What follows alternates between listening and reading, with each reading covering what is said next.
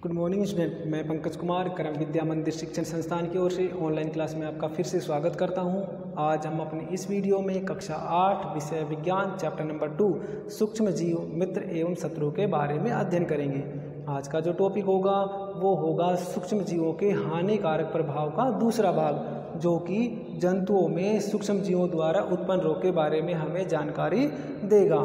तो क्या सूक्ष्म जीव मनुष्यों के अतिरिक्त जंतुओं में भी विभिन्न प्रकार के रोगों को उत्पन्न करते हैं। क्या सूक्ष्म जीव पादपों में भी विभिन्न प्रकार के रोगों को उत्पन्न करते हैं? क्या सूक्ष्म जीव हमारे भोजन में भी विषैले पदार्थों को उत्पन्न कर देते हैं, जिसके कारण वो भोजन विषैला या रोगी रोगग्रस्त हो जाता है? चलो तो आज हम इनकी जानकारी अपनी इस वीडियो से प्राप्त करते हैं। आप भी मेरे साथ अपनी नोटबुक में जल्दी से इन पॉइंटों को नोट कर लेना।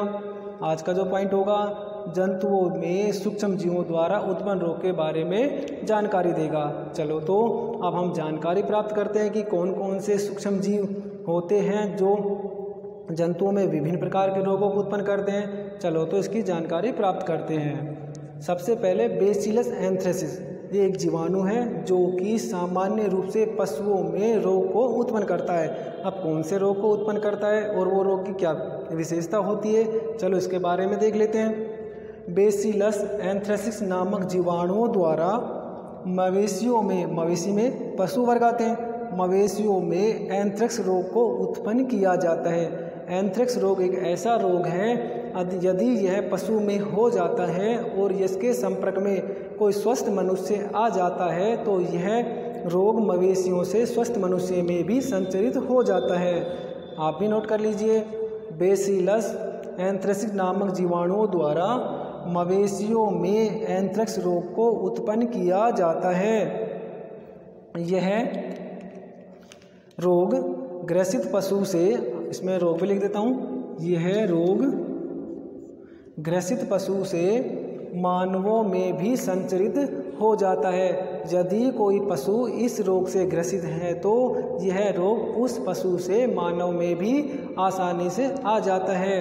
इस कारण हम बता सकते हैं कि सूक्ष्म जीव मनुष्यों के अतिरिक्त पादपों, जंतुओं एवं भोजन को भी अपनी चपेट में ले लेता है। तो अब नंबर तीसरा जो जिसका चरण पढ़ते हैं, वो चरण पढ़ेंगे पादपों में उत्पन्न रोग के बारे में। तीसरा चरण, जो कि क्या है? सूक्ष्म जीवों द्वारा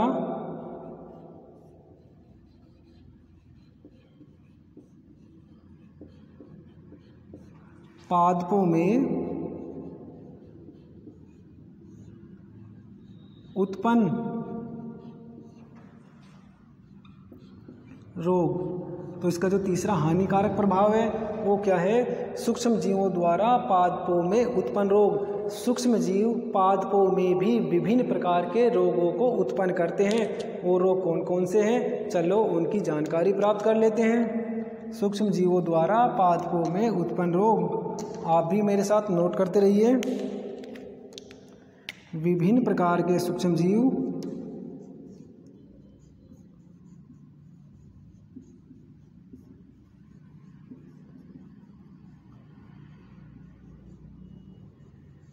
विभिन्न प्रकार के सूक्ष्म जीव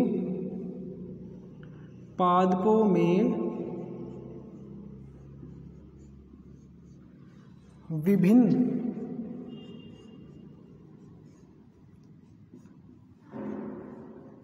रोगों को उत्पन्न करते हैं।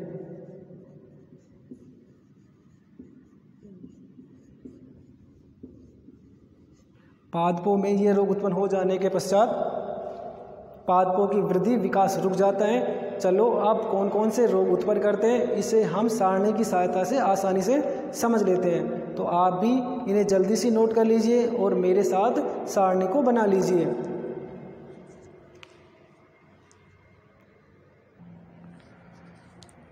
अब आप भी जल्दी से सारणी बना लिए कि पादपों में सूक्ष्म जीवों द्वारा कौन कौन से रोग होते हैं। हमने एक सारणी बनाई। सारणी में पादप का नाम, पादप में होने वाले रोग का नाम, पादप में रोग कारक, किस रोग के, किस रोग के द्वारा कारक के द्वारा ये रोग होता है और किसके द्वारा ये संचरित होता है। हमने चार कॉलम को बनाया। चलो तो अब सारणी के अध्ययन से हम पढ़ते हैं।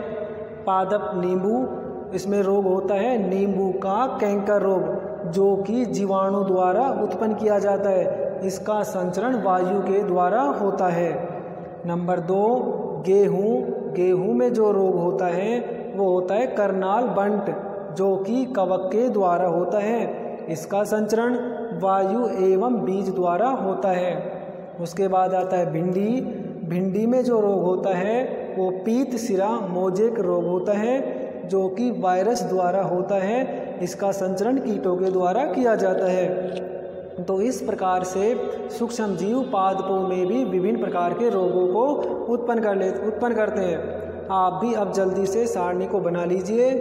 नींबू, रोग का नाम, कैंकर, रोगकारक जीवाणु, संचरण वायु, गेहूँ, रोग का नाम करनाल बंट, रोगकारक कवक, संचरण वायु और कीट, भिंडी रोग का नाम पीत, सिरा, रोज मोजेक रोग, वायरस द्वारा और इसका संचरण कीट द्वारा।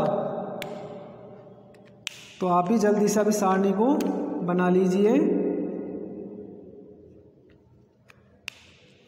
अब इसके बाद चलते हैं, क्या सूक्ष्म जीव हमारे भोजन में भी विभिन्न प्रकार, हमारे भोजन को भी विभिन्न रोगों से ग्रसित कर देते हैं? क्या भोजन को वो विषैला बना देते हैं? चलो तो इसके नेक्स्ट टॉपिक को हम अब पढ़ते हैं। चौथा टॉपिक है, सूक्ष्म जीवों द्वारा भोजन को विषाक्त करना या भोजन का विषाक्तन। क्या सूक्ष्म जीव हमारे भोजन को दूषित करते हैं? चलो इसका अध्ययन कर लेते हैं। आप भी अपनी कॉपी में मेरे साथ नोट कर लीजिए। विभिन्न प्रकार के सूक्ष्म जीव। विभिन्न प्रकार के सूक्ष्म जीव भोजन पर आकर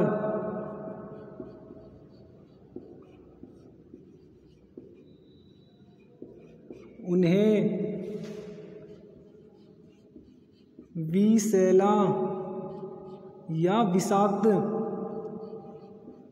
कर देते हैं। विभिन्न प्रकार के सूक्ष्म जीव भोजन पर आकर उन्हें विषाक्त या विषैला कर देते हैं। जब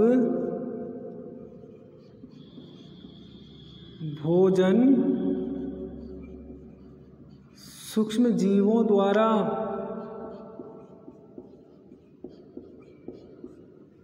विषाक्त या दूषित विषाक्त या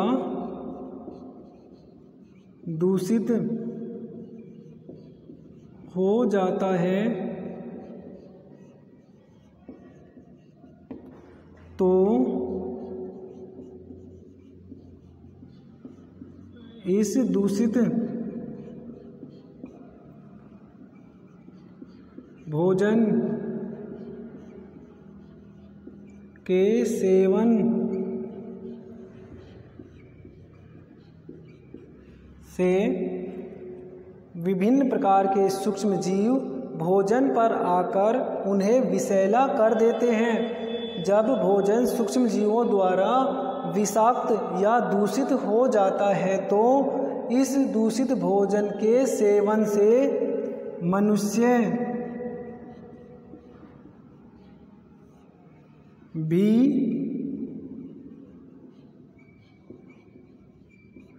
अनेक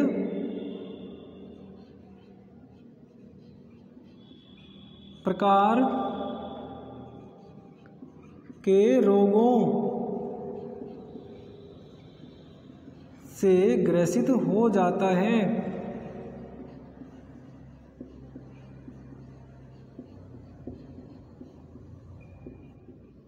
हमने कई बार नोट किया होगा, यदि हम दूषित भोजन का सेवन कर लेते हैं तो हमारे उल्टी सर दर्द चक्कर आना आदि बीमारियाँ हो जाती हैं। तो इस प्रकार हम कह सकते हैं कि सूक्ष्म जीव भोजन में भी विभिन्न प्रकार के विषैले पदार्थों को श्रावित कर देते हैं, जिसके कारण हमारा भोजन दूषित हो जाता है। और यदि हम इस दूषित भोजन का उपयोग कर लेते हैं तो हम भी विभिन्न प्रकार के रोगों से ग्रसित हो जाते हैं। आप जल्दी से इसे नोट कर लीजिए अब। आज हमने अपनी इस वीडियो में सूक्ष्म जीवों द्वारा होने वाले हानिकारक प्रभाव के चारों चरणों का अध्ययन किया। इससे आने वाली वीडियो में हम बात करेंगे खाद्य पदार्थों का परिरक्षण। किस पदार्थ, किस प्रकार से खाद्य पदार्थों को हम विभिन्न प्रकार के सूक्ष्म जीवों के हानिकारक प्रभावों से बचा सकते हैं। तो आप हमें, आप लगातार इस वीडियो को देखते रहें, चैनल को लाइक करें, सब्सक्राइब करें और कमेंट भी ज़रूर करें। धन्यवाद।